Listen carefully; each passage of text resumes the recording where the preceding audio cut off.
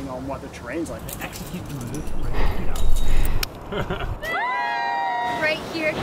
It'll shoot really well.